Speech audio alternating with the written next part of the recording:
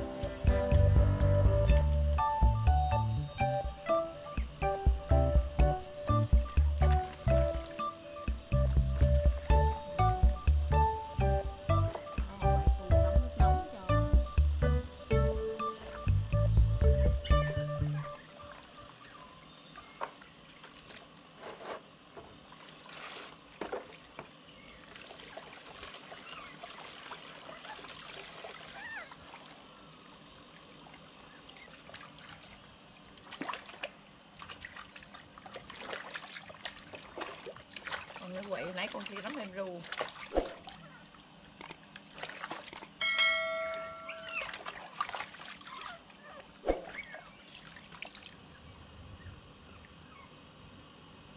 nhìn bé này.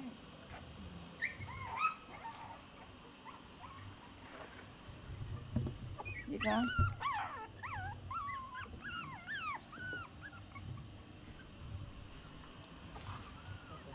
quen gì vậy quay chủ nữa hả